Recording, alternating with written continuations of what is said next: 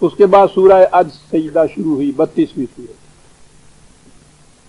اکیسواں پارا بتیسویں سورت بسم اللہ الرحمن الرحیم۔ الف لام میم تنزیل الکتاب۔ لا ریب فی من رب العالمین۔ وہی جو شروع۔ ذالک الکتاب لا ریب فی کتاب کا بڑا حتمی دعویٰ۔ ہے عام ترجمہ ہوتا ہے کہ اس میں شک کی کوئی بات نہیں ہے۔ یہ ٹھیک ہے۔ لیکن عربی زبان کا شک بھی تو عربی زبان کا لفظ ریب بھی عربی زبان کا لفظ قرآن میں جہاں آیا ہے، قرآن کے متعلق ریب ہی آیا ہے۔ بعض باتیں تو ایسی ہوتی ہیں کہ شک ہو یا یقین ہو تو اس کا آپ کے دل پہ کوئی اثر نہیں ہوتا۔ شک کی بات ہے کہ وہ بارش کل ہوگی یا نہ ہوگی۔ ٹھیک ہے شک کی بات ہے۔ بعض شک ایسے ہوتے ہیں کہ دل پہ چمر جاتے ہیں۔ کوئی خبر اگر آئے کہ فلان جگہ حادثہ ہوا ہے اور اس قسم کا سکوٹر تھا اور آپ کا بیٹا گیا ہو کسی سکوٹر کے اوپر، اس وقت بھی آپ ایک بیمو رجا میں ہوتے ہیں۔ شک اور یقین کے اندر ہوتے ہیں کہ پتہ نہیں وہ ہے یا کوئی اور ہے۔ آپ دیکھتے ہیں اس شک میں اور اس شک میں کیا فرق ہے۔ یہ شک شک جس سے دل میں اضطراب پیدا ہو، عربی زبان میں اسے ریب کہتے ہیں۔ کہا یہ وہ کتاب ہے حقیقت پر مبنی کہ ایک تو اس میں ہر بات یقینی ہے، کوئی شک ہی نہیں ہے، اور اس سے دل کے اضطرابات سارے رفع ہو جائیں گے۔ الجھن نہیں باقی رہے گی، اضطراب باقی نہیں رہے گی۔ مر رب العالمین۔ کسی ایک فرق گروہ، خاندان یا قبیلے کا رب نہیں ہے۔ کائنات کا رب ہے جس کی طرف سے یہ چیز آ رہی ہے۔ اس نے تو ربوبیت کا ذمہ دیا ہے۔ عام یقول نفترا ہو یہ کہتے ہیں کہ یہ اس شخص نے خود ہی اس کو بنا لیا، خود گھڑ لیا ہے۔ کہتے یہ کہ انسانی فکر کی تخلیق ہے یہ۔ بل حق کو نر کا یہ تو الحق ہے۔ اور الحق جو ہے، دی ٹروتھ یہ تو کوئی انسان نہیں کہہ سکتا۔ بات پھر دوسری طرف نکل جائے گی۔ انسان جو ٹروتھ بھی کہے گا ریلیٹو ہوتا ہے وہ، اضافی ہوتا ہے۔ حقیقی جس کے ساتھ دی لگاتے ہیں ابھی تیزی میں، یا ٹی کیپٹل سے کہہ لیجیے الحق، وہ تیرے رب کی طرف پاس ہوتا ہے۔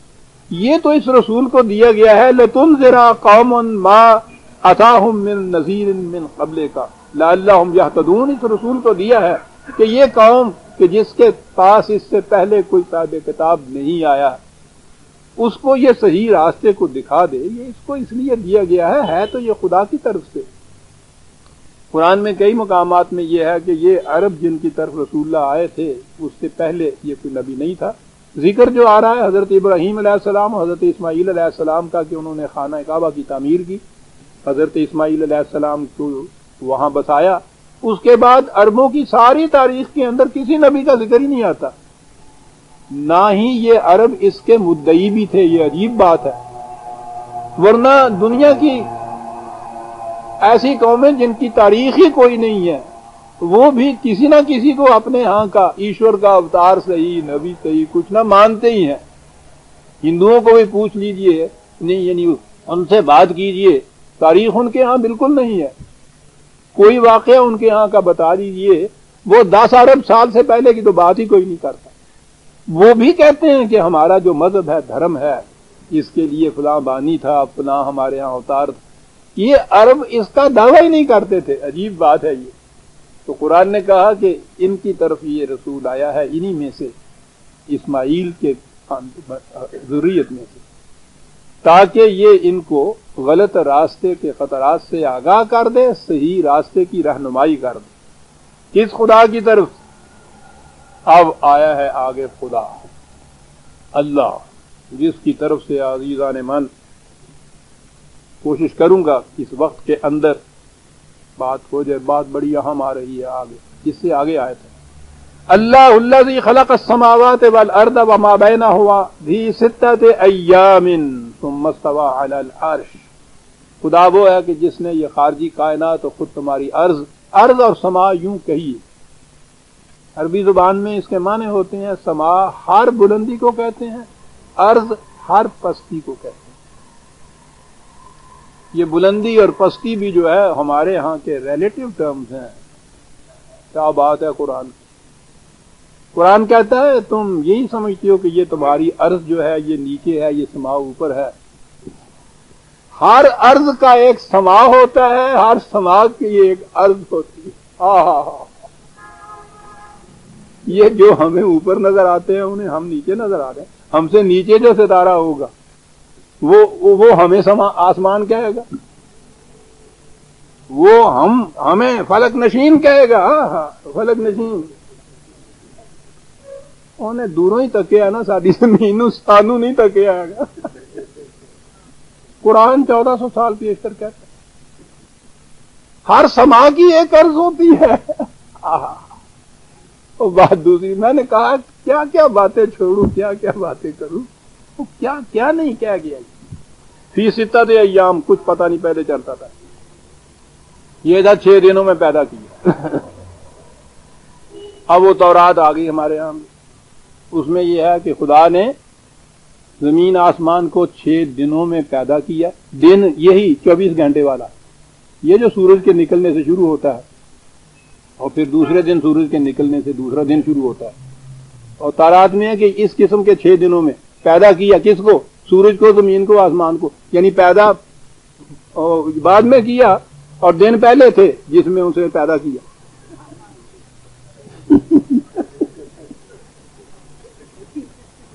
آپ ہنس رہے ہیں، کروڑ در کروڑ اربوں وہ لوگ مانتے چلے آ رہے ہیں۔ جیسے آپ مانتے چلے آ رہے ہیں، چودہ سو سال سے، وہ دو ہزار سال سے مانتے چلے آ رہے ہیں۔ جیسے آپ ان کی بات میں ہنستے ہیں، دنیا آپ کی باتوں میں بھی ہنستی ہے۔ جی ستا ایام انہوں نے کہا، چھ دن میں منایا اس نے۔ کیا اور اس کے بعد خدا تھک گیا۔ تو ساتویں دن اس نے آرام کیا۔ یہ جو سبق ہے نا سیٹرڈے، ان کے ہاں کاروبار نہیں کرتے۔ پتا یہ چھٹی کے دن کو ہولی ڈے کیوں کہتے ہیں؟ تھی تو آتے ہوئی پتا نا ہولی ڈے یعنی اسکول نہیں جانا۔ ہولی ڈے مقدس دن ہے کہ جس دن خدا نے کام کاج چھوڑ کے، تھک کے، چھٹی کی، آرام نال ستا اس دن پہلے۔ جس طرح ہر باؤ کی چھٹی یہ ہوں بھی اس دن سوندا ہے وہ کہنا اج جگا نہ میں دفتر نہیں جانا مجھے سو لین دیو وہ ساتویں دن سویا خدا یہ تاریخ تو رات میں ہے ان کے یہاں سبت کو کوئی کام نہیں کرتے سبت کی چھٹی ہوتی ہے یہ ایک دن کی چھٹی کا تصور یہ ٹھیک ہے تمدن میں معاشرت میں یہ تو ہو سکتا ہے قرآن کا کانسیپٹ نہیں ہے چھٹی کیا مانے اور آپ کا کانسیپٹ بھائی جی اب بات آ گئی آپ پوچھیں گے کہ صاحب، یہ پھر جمعے کے دن کا تو ہم کہتے ہیں۔ جمعے کا دن کہتے ہیں، اتفاق سے قرآن میں ایک سورت ہے، اس کا نام ہی سورہ جمعہ ہے۔ کہتے ہیں، پڑھتے نہیں اس کو۔ اس میں لکھا ہوا یہ ہے کہ جب جمعے کی اجتماع کے لیے پکارا جائے لودیا ذکر اللہ وزر البہ تو کام کاج چھوڑ کے اس کی طرف آ جایا کرو. تو گویا جمعے والے دن بھی وہ بتاتا ہے نا کہ صبح سے کام کاج ہو رہا ہے، چھوڑ کے آیا کرو. اور جب واحدہ خودیت سلاد ہے فن شروع کی لڑ جب وہ سلاد ختم ہو جائے تو جا کے پھر کاروبار کیا کر. سورہ جمعہ ہے، یہ قرآن میں موجود ہے. یہاں شریعت حقہ آئی تو انہوں نے کہا کہ نہیں صاحب، اتوار کی چھٹی جو ہے وہ تو کرسچن کی چھٹی ہے اور ہفتے کی جو ہے یہودیوں کی ہے، مسلمان کی چھٹی جو ہے وہ اتوار کی نہیں ہو سکتی۔ جمعے کی چھٹی ہونی چاہیے، یہ شریعت حقہ کا فیصلہ ہے اور شریعت حقہ کا جو قرآن ہے وہ یہ کہتا ہے۔ میں یہ نہیں کہتا کہ بہرحال چھٹی نہ کرو، یہ آپ کے کاروباری چیز ہے۔ طے کرو آپ، ٹھیک ہے ویکینڈ دے دو، کچھ کرو۔ اسے یہ کیوں کہتے ہو کہ شریعت کہتے ہیں کا فیصلہ ہے کہ جمعے کی چھٹی کرو گے؟ بہرحال، ستر ایام۔ اب یہ جو علم الارض وغیرہ والے ہیں، سائنٹسٹ ہیں، فزسٹ ہیں، وہ ڈٹرمن کر رہے ہیں یہ ایام کے معنی پیریڈ ہوتا ہے، مراحل ہوتے ہیں، طبقات ہوتے ہیں۔ وہ یہ ڈٹرمن کر رہے ہیں کہ یہ مختلف پیریڈ ہیں۔ ابھی ابھی میں عرض کروں گا کتنا کتنا لمبا قرآن کہتا ہے یہ پیریڈ ہے۔ ادوار ہیں، یوں کہیے اس کو لیے۔ کہ جن میں یہ خارجی کائنات اس شکل میں آئی ہے، جس شکل میں تمہارے سامنے ہے۔ خلاقہ کا لفظ ہے نا، ہمارا یہاں نہیں ہے۔ پتا ہے نا آپ کو امر اور خلق میں کیا فرق ہے؟ میں سمجھتا ہوں آپ کو کبھی کبھی پرچہ دے کے امتحان نہیں لینا چاہیے کہ کوئی یاد بھی ہوں کہ ہمیں مڑ کے تو روندے رہ گلی ڈنڈا کھیل کے کوئی دوے دن آئے۔ امر اور خلق تو آپ کو پتا ہے نا۔ اللہ اللہ جی خلا کا سما آتے والا جب یہ ہماری اسکیم اس محسوس شکل میں آئی تھی تو وہاں سے پھر یہ بڑے بڑے طویل المیاد مراحل تھے جن میں سے یہ گزر کے اس شکل میں آئی ہے جس میں تم دیکھ رہے ہو۔ یہ کچھ کرنے کے بعد سم مستوا العرش۔ انہوں نے تو یہ بتایا نا کہ چھ دن میں یہ کچھ پیدا کیا۔ پھر خدا اپنے عرش کے اوپر چلا گیا۔ انہوں نے یہ کہا نا سوندی کو تھام بھی تو ہونی چاہیے تو رات کا تصور تھا۔ ہمارے ہاں بھی تو خدا کو عرش کے اوپر کہتے ہیں نا، یہ چیز۔ عزیزہ نمان اس قسم کا تصور جو ہے خدا کا، وہ تو فائنائٹ ہو جاتا ہے محدود ہو جاتا ہے نا۔ کوئی جگہ بھی آپ اسے بنا دیجیے۔ سات آسمانوں کے اوپر بھی صحیح۔ کوئی جگہ عرش کی بنا دیجیے۔ اس پہ اگر آپ بٹھا دیجیے گا تو وہ تو محدود ہو گیا۔ یہ تصور غلط ہے۔ وہ ٹائم اینڈ سپیس کی حدود کے اندر نہیں آتا۔ انفائنائٹ ہے، لامحدود ہے، لامنتہا ہے۔ اس لیے اسے کسی خاص مقام کے اندر کسی سپیس کے اندر محدود نہیں کیا جا سکتا، وہ کوئی خاص عرش نہیں۔ عربی زبان میں عرش کے معنی کنٹرولنگ اتارٹی ہوتی ہے کنٹرولنگ سینٹر ہوتا ہے بلکہ۔ تخت جس کو آپ اپنے یہاں کہتے ہیں، وہ پہلے تو ہوتا تھا کہ سچ مچ کا وہ تخت بوش جن کو کہتے ہیں پنجابی۔ وہ بناتے تھے، اس پہ بادشاہ بیٹھتا تھا۔ ورنہ تھرون جسے کہا جاتا ہے، اس کے معنی سچ مچ کا وہ تختہ نہیں ہوتا۔ وہ اتارٹی ہوتی ہے مملکت کی۔ عربی زبان میں یہ لفظ اس معنی میں آتا تھا کہ اس نے سارا کچھ تخلیق کیا۔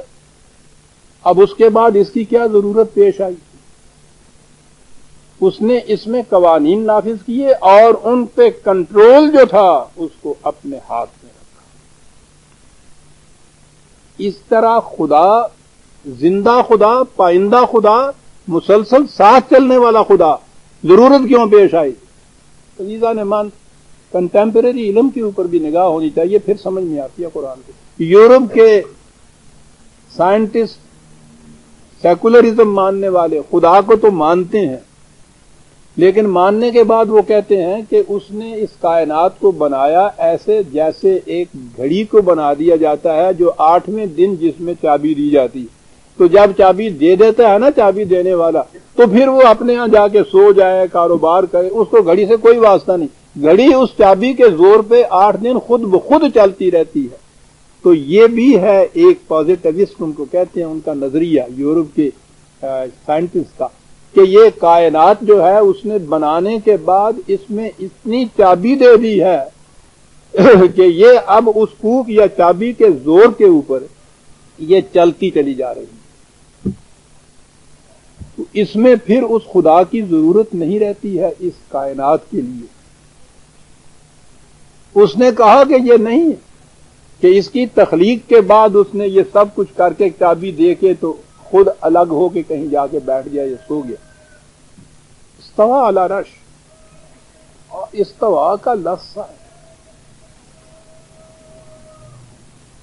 اس طرح کا سوار جو بیلنس اپنا ایسے قائم رکھے کہ ہلے بھی نہیں اپنے مقام سے۔ اس طرح کا کنٹرول بیلنس جو ہے۔ اس کائنات کا پھر کنٹرول اپنے ہاتھ میں رکھا۔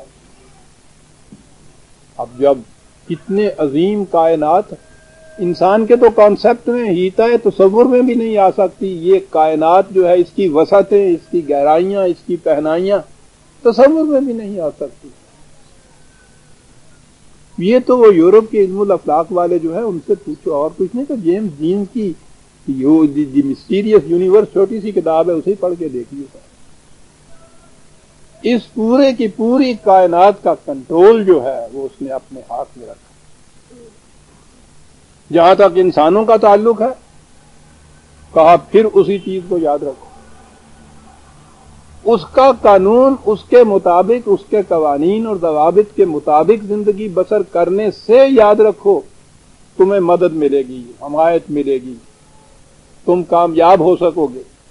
مالکم من دون ہی من ولیم ولا شفیم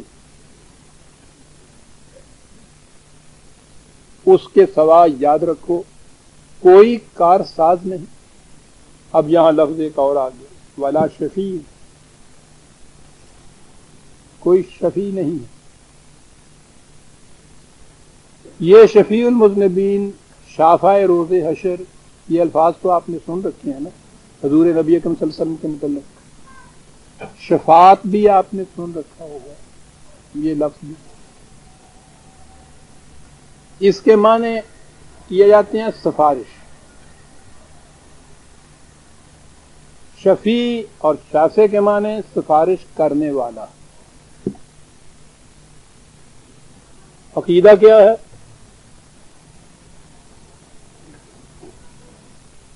پہلے تو یہ جو معنی ہیں سفارش کے، ذرا ذہن میں اس کو رکھیے۔ کوئی حاکم جو یہاں کا ہو، اس کو کنڈیم کرنے کے لیے اتنا ہی کافی ہوتا ہے کہ صاحب، وہ تو سفارش پہ چلتا، سفارش پہنچ گئی جس کی بس اس کے حق میں فیصلہ ہوگا بدترین ایب ہے ایک حاکم کے متعلق۔ روز آپ یہ کہتے ہیں، سفارش۔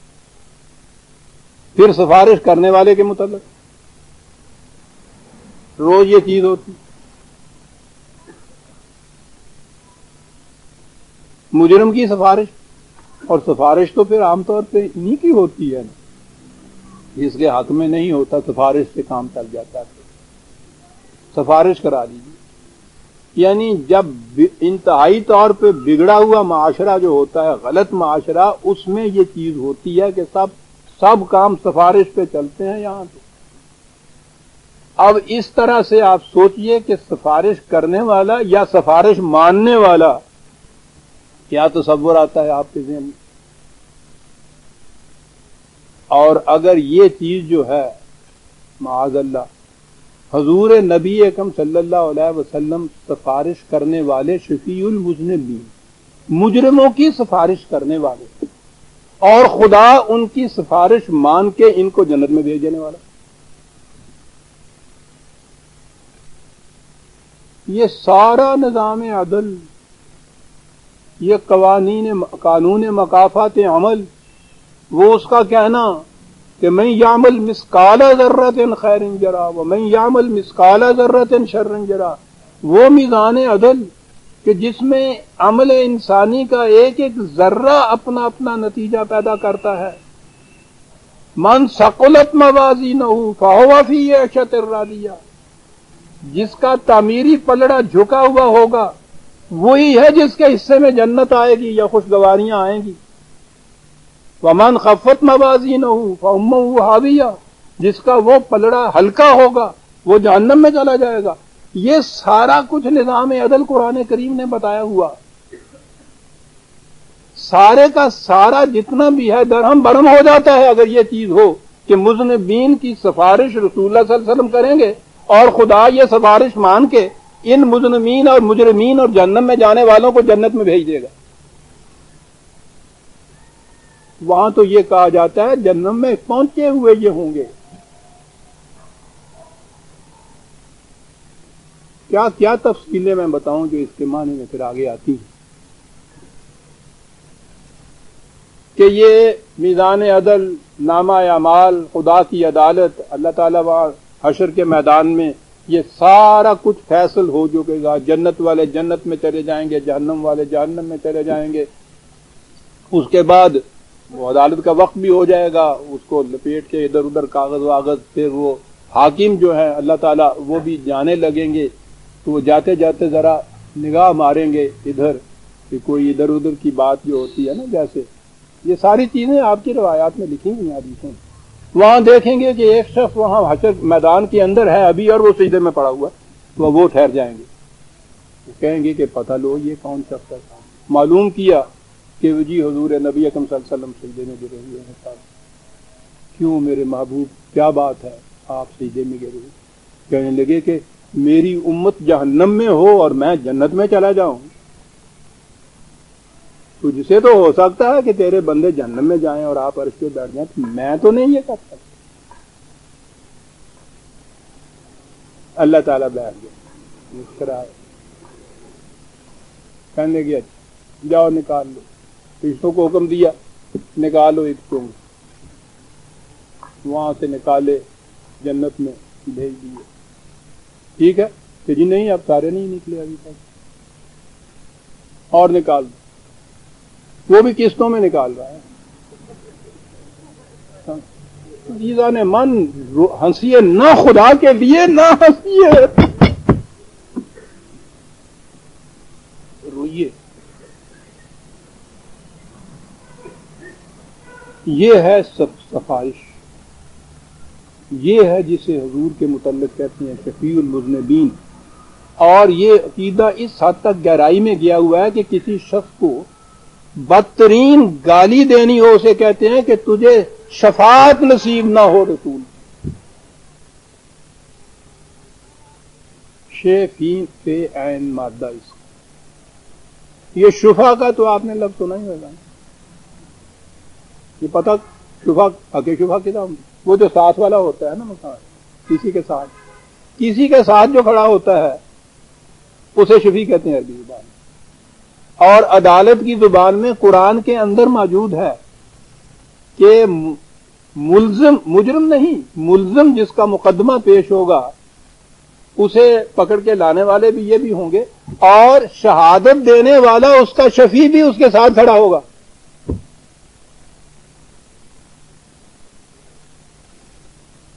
یعنی اس کی ڈیفنس میں جو شہادت دینے والا ہو۔ صفائی کا گواہ ملزم کی حمایت میں اس کے ساتھ جو ہے وہ صفائی کا گواہ قرآن نے اس لفظ کے معنی شہادت کہے ہیں۔ اس کی صفائی، وہ یعنی یہ ہمارے سمجھانے کے لیے وہ عدالت کا ایک نقشہ پیش کرتا ہے۔ اس عدالت کے نقشے میں ایک صفائی کا گواہ ہوتا ہے، وہ ملزم کے ساتھ ہوتا ہے۔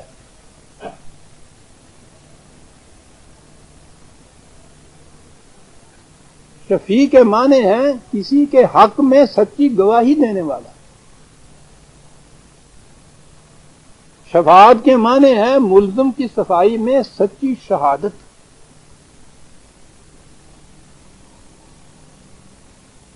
سفارش مانے ہی غلط ہے اس کے عزیزان۔ وہ تو سمجھانے کے لیے جیسا میں نے عرض کیا ہے، ورنہ وہ یہ امال انسان کے جو ارادوں تک کے نتیجے خیز ہوتے چلے جاتے ہیں، وہ تو یہ کہتا ہے کہ ہر ایک کا امال نامہ اسی گردن میں لٹکا ہوا ہے۔ آج وہ لپٹا ہوا ہے۔ ضرور نتائج کے دن وہ کھل کے سامنے آ جائے گا۔ اور وہ یہ نہیں ہوگا کہ کسی کو وہاں عدالت میں کہا جائے کہ چار شیٹ جو پڑھ کے سناؤ۔ اقرا کتاب اسی سے ملزم سے کہا جائے گا کہ پڑھ اپنا امال نامہ یہ نہ تم کہہ دو وہاں غالب کی طرح کہ پکڑے جاتے ہیں فرشتوں کے لکھے پر ناحق۔ آدمی کوئی ہمارا دم تاریر بھی تھا؟ اقرا کتاب اور اس کے بعد فیصلہ کفا بنف سے کر جاؤ آج اپنا فیصلہ بھی آپ ہی کر۔ دیں کہا، تم مقافاتی عمل کو کرتے ہو۔ جو چپ رہے گی زبان خنجر لہو پکارے گا آستین کا، تمہارے ہاتھ تمہارے خلاف گواہی دیں گے، تمہارے پاؤں تمہارے خلاف گواہی دیں گے، تمہاری زبانیں تمہارے خلاف گواہی دیں گے۔ مقافات عمل اور نتائج اعمال کا تو یہ ہے حقیقت میں نقشہ جو وہ تو بات سمجھانے کے لیے قرآن ہمیشہ محسوس شکل میں ایک چیز لاتا ہے، اس نے ہمیشہ عدالت کا نقشہ سامنے پیش کیا ہے۔ عدالت ہے، منصف ہے، ایسا منصف ہے کہ جس پہ کسی کا کوئی اثر نہیں ہو سکتا۔ پکڑ کے لاتے ہیں ملزم کو ملزم کو پورا موقع دیا جاتا ہے۔ ڈیفینس کا، پیش کر یعنی وہاں اس طرح سے باتیں قرآن کریم بتا رہا ہے، ایسے جیسے خدا پوچھ رہا ہے کہ کیا یہ جو قانون ہے، اس قانون کو بتانے والے تمہارے پاس آئے تھے یا نہیں؟ انہوں نے بتایا تھا یا نہیں کہ یہ قانون ہے؟ بتاؤ۔ یعنی خدا تو علیم ہے، سب کچھ پتا ہے۔ وہاں اس نے یہ یہ کہہ کے یہ کہا کہ یہ جو ہے کہ ignorance of law is no excuse کہ قانون کا علم نہیں تھا اس واسطے اس کو معاف کرو۔ وہ کہتا، پوچھے گا، بتاؤ اس قانون کا علم تمہیں دیا گیا، یہ پہنچے تھے تمہارے پاس یا نہیں تھا؟ ان سے کہا جائے گا کہ تم نے یہ پہنچائی تھی بات یا نہیں کی ہے بتاؤ تم اپنی ڈیفینس میں کیا کہنا چاہتے ہو؟ معذرت جسے قرآن کہتا ہے۔ جو تم کہہ رہے ہو، اس کے لیے تمہارے پاس کوئی گواہ یہ ہے جسے وہ کہتا ہے ساتھ صفائی کا گواہ اس کے حق میں جو شہادت دے گا، اسے وہ شفیع کہتا ہے، ساتھ کھڑا ہونے والا۔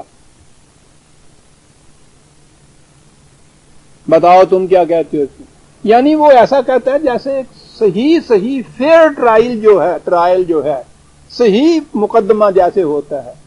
اس طرح سے مقدمے کے بعد وہ پھر فیصلہ سناتا ہے۔ اس میں یہ چیز آتی ہے جسے آپ شفیع یا ساتھی کہتے ہیں۔ اور یہ اس نے کہا کہ مالکم من دون ہی من ولی وہاں کوئی ایسا کارساز تمہارا آ کے، بہت بڑا کوئی، وہ آ کے متاثر کر سکے، یہ بھی نہیں۔ کارسازی اسی کی۔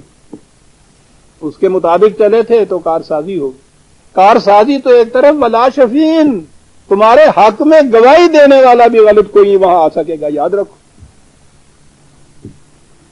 افلا تتذکرون؟ بات سمجھے؟ سمجھ میں آئی بات تمہارے جو ہم کہہ رہے ہیں۔ کہا کہ یہ ہے وہ خدا کے جس نے زمین و خارجی کائنات کو پیدا کیا، پیدا کر کے سو نہیں گیا۔ کنٹرول اپنے ہاتھ میں رکھا۔ یہ بات تو خارجی کائنات کی ہے کہ جہاں مقافات عمل کا سوال ہی نہیں۔ ان میں سے کوئی شے بھی خدا کے قانون کی خلاف ورزی ضرورت کاری نہیں سکتی، اس میں استطاعت ہی نہیں رکھی گئی۔ دو راستے نہیں نا دکھائے۔ وہ تو اسی کے متعلق کہا ہے وہ رہنا نجدین دو راستے دکھائے۔ یہ جنہیں دو دکھائے ہیں، ان کے متعلق اب آگے بات آنی تھی۔ رکھو کہ یہ بات نہیں ہے کہ وہ عرش پہ جا بیٹھا ہے۔ اور تم اب اس کے نیچے جو جی میں آئے کرتے رہو۔ یہ سوال نہیں ہے۔ عرش کو تم عدالت کی کرسی سمجھو۔ وہاں وہ متمکن ہے۔ مقدمہ تمہارا پیش ہوگا۔ اور اگر ذہن میں یہ ہونا کہ کوئی بہت بڑا با اثر جا کے متاثر کر دے گا حاکم کو مالا کم میں ولی کوئی اس کی ضرورت نہیں کرے۔ یہ بات کہ تمہارے حق میں کوئی آگے غلط گواہی دے کے کچھ تمہارے حق میں فیصلہ کر دے گا، یہ بھی نہیں۔ ولا شفین ایسا گواہ بھی وہاں نہیں ہو سکتا۔ اس طرح سے ایک ایک ذرہ نتیجہ خیز ہوگا۔ اچھا ہی ہوا، ہم آخر تک آ گئے عزیزہ نے من سورہ اج سجدہ کی آج چار تک ہم آئے ہیں۔ میں عرض کر دوں اہمیت کو تاکہ آئندہ آپ ذرا سا مس نہ کریں ابتدا بھی آئندہ آیت آ رہی ہے۔ یوں تو قرآن کی کون سی آیت ہے کہ جو عظیم و جلیل نہیں۔ لیکن بعض آیات کے اندر اس نے حقائق کو اس طرح سے سموہ کے مرتکز حیثیت میں رکھا ہے کہ وہ کتنے ہی انسانی علم کے شعبے ہیں، کتنے حقائق ہیں کائنات کے، کتنے انسان کی ذات سے متعلق معلومات ہیں۔ جو بعض اوقات ایک ایک آیت کے اندر آ گئی ہوئی اگلی آیت یہ آ رہی ہے ہمارے سامنے۔ بلکہ دو آیتیں آ رہی ہیں۔ میں سمجھتا ہوں کہ شاید ایک ایک آیت کے لیے ایک ایک درس ہو یا بہرحال دو آیتیں ایک درس میں آ جائیں۔ ہم سورہ سجدہ کی آیت پانچ سے آئندہ درس میں ہم دیں گے۔ ربنا تقبل منا انکا انت السمیع العلیم۔ شکریہ۔